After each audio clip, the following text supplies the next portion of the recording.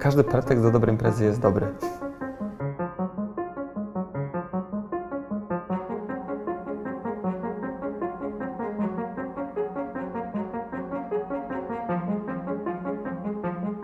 Co Ci przeszkadzało w starej nazwie Projekt Masaż? Mm, Wiesz co, no najbardziej mi przeszkadzało to, że jakby nazwa nas trochę zawężała do masażu, którym tak naprawdę my się od dłuższego czasu w ogóle nie zajmujemy. Nie chcielibyśmy być stricte kojarzeni już tylko z masażem, bo no, bardzo mocno ta nazwa nas ogranicza. Zaczęliśmy się zajmować no, zupełnie innymi rzeczami, nadal pracując z ludzkim ciałem, ale też e, pracując troszeczkę bardziej z emocjami.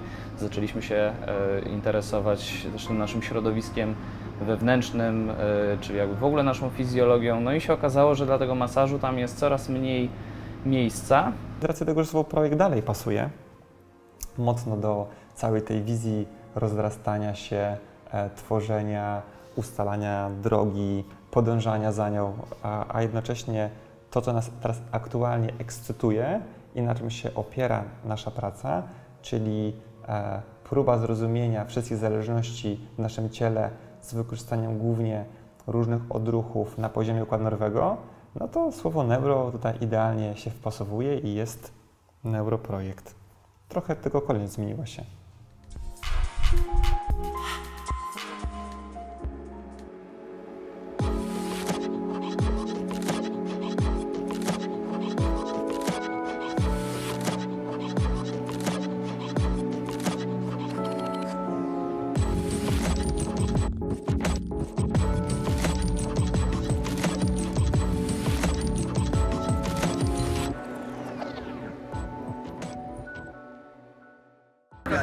Jak rodzi się dziecko, akurat projekt Masaż moim zdaniem był kiedyś takim dzieckiem, z którym ja e, gdzieś tam też się rozwijałam. I dla mnie dzisiejszy dzień to jest taki, wiecie, sweet e, 16, albo dobra, to nie, to będzie osiemnastka, nie? Czyli po prostu kiedy to dzie- dziecko już wyrosło, ono już wie, co w ogóle chce od tego życia, wie na jakie studia ma iść, w ogóle w jaką drodze. Wiadomo, że czasem to jeszcze się zmieni, ale to moim zdaniem to akurat jest taki bardziej już świadomy wybór e, i terapii, i może podejścia.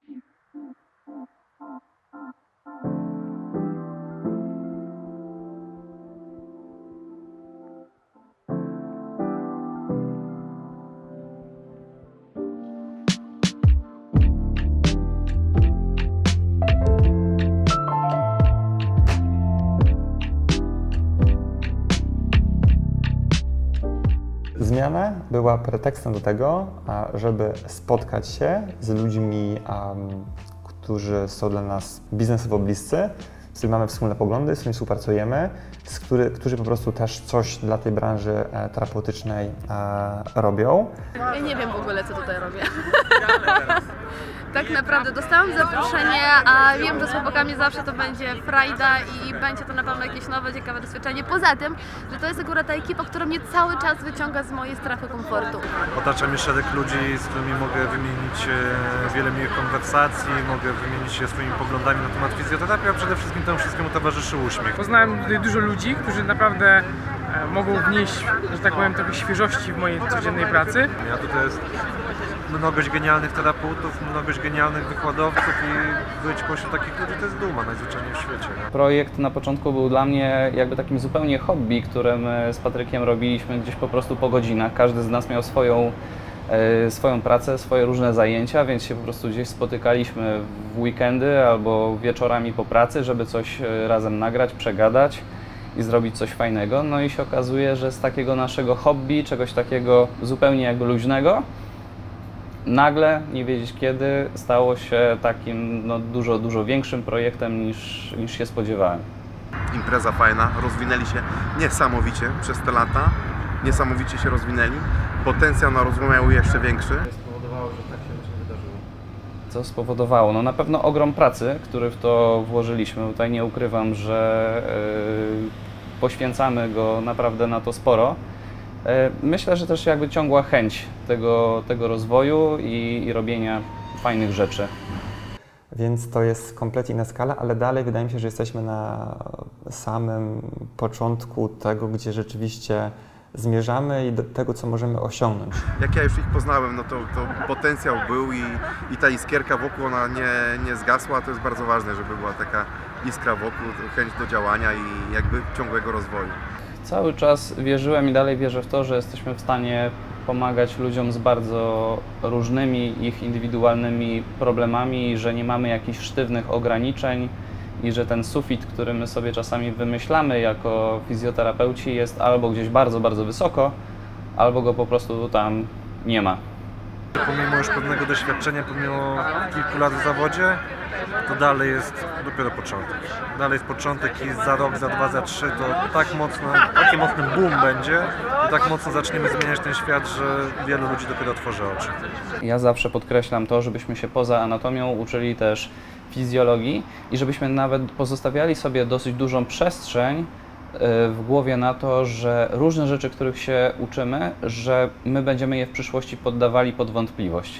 Że nasze funkcjonowanie wygląda zupełnie inaczej niż to jest pokazane w książkach. I po prostu zostawienie sobie takiej myśli z tyłu głowy daje nam cały czas przestrzeń y, do tego, żeby to w przyszłości zmieniać, bez takiego mocnego osadzenia się w tym, że już się kiedyś tego nauczyłem, to znaczy, że tak jest. Każdy nauczony kursant to jest taki promyczek nadziei na to, że w tym kraju będzie inaczej i że ten system uniwersytecki gdzieś w końcu zostanie zaorany przez ludzi, którzy chcą naprawdę dużych zmian.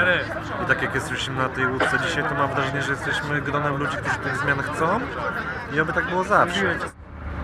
Polecam. My możemy przekazać to, co umiemy, możemy starać się zainspirować, e, pokazać drogę, ale każdy z nas musi ją przebyć na swoich własnych nogach. Ludzie są przekonani, jakoby pod naporem naszych rąk w tkankach coś się rozluźniało albo przesuwało. W rzeczywistości to, co obserwujemy, jest po prostu reakcją ze strony układu nerwowego. Nasz układ nerwowy każdego dnia musi odbierać niezliczoną ilość bodźców, następnie je analizować i dostosowywać do nich swoją pracę.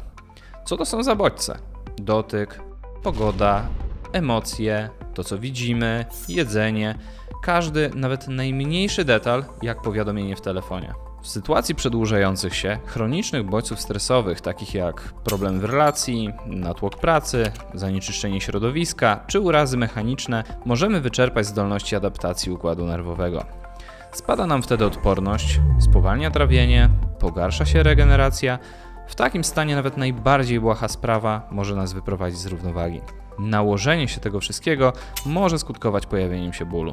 Oczywiście takich sytuacji najlepiej byłoby unikać, ale problem przebodźcowania obecnie to plaga. Co w takim razie zrobić? Możemy zabrać nadmiar niepotrzebnych bodźców. Opowiem to na przykładzie. Może to być stary uraz, skręcony staw skokowy, który nie był poddany terapii. Wymusza on zmianę mechaniki i zaburza prawidłowy dotąd wzorzec chodu. Kompensowanie tego to spore wyzwanie dla układu nerwowego. Kiedy dołożymy do tego nadmiar bodźców, okaże się, że przestają sobie radzić z tym zaburzeniem. Co ciekawe, ból wtedy może pojawić się w kolanie, bo to ono jest najbardziej obciążone i mylnie możemy pomyśleć, że to tam leży problem. Jednak to zajęcie się stawem skokowym w tym wypadku przywraca prawidłową mechanikę ruchu, a kolano, które było problematyczne wtórnie, zaczyna lepiej pracować. A co z przedłużającymi się bodźcami, takimi jak złe nawyki żywieniowe lub emocje? Są sposoby na sprawdzenie, w jakim stopniu one na nas oddziałują. Jednak taka praca wymaga zmiany myślenia o naszym ciele. Dlatego zmieniamy naszą nazwę, gdyż skupiamy się głównie na diagnostyce i zależnościach w układzie nerwowym. Moją misją jest to, żeby ludzie właśnie dowiedzieli się o tym, że coś takiego po prostu istnieje, bo jak nie myślisz o tym na co dzień, to to nie istnieje w twojej głowie, a tracisz przez to bardzo dużo. Dla mnie fizjoterapia jest takim przejawem miłości do swojego ciała. E, Bo człowiek, który zwykle interesuje się, interesuje się swoim ciałem, e, zastanawia się, dlaczego boli go coś i chce naprawdę coś z tym zrobić, nie po prostu leżeć i czekać, żeby ktoś się wymasował, ale naprawdę chce rozwiązać swój, e, swój jakiś problem, to zwykle się zastanawia na tym. I akurat fizjoterapia jest tą drogą, która uczy człowieka poznawać swoje ciało i kochać go i zrozumieć, że jesteś jednak czymś jest więcej niż tylko głową. Jesteś całym swoim ciałem. I to jest akurat jest dla mnie fizjoterapia. Od początku to myślenie zmieniamy, traktujemy same wizyty w gabinecie troszeczkę inaczej, traktujemy kursantów troszeczkę inaczej, wierzymy, że ten sposób myślenia daje się zmienić. Najważniejszą misją jest tak naprawdę zdrowie. Myślę, że to nas łączy z projektem Masaż. Myślę, że to jest taka wartość, dla której warto pracować, warto się rozwijać, warto robić dużo fajnych, nowych rzeczy. Ja zawsze chciałem, żeby ludzie myśleli w tych kategoriach, co ja muszę zrobić, e, żeby być w miejscu, gdzie jest ktoś. Czyli co on zrobił, że jemu jest lepiej niż mi. Tak, że ma fajniejszą pracę, więcej pacjentów, ciekawsze gdzieś tam przemyślenia, lepszą diagnostykę i tak dalej, a niekoniecznie co ja muszę zrobić tej osobie, żeby ona wylądowała w tym miejscu, w którym jestem ja, albo żeby miała jeszcze gorzej.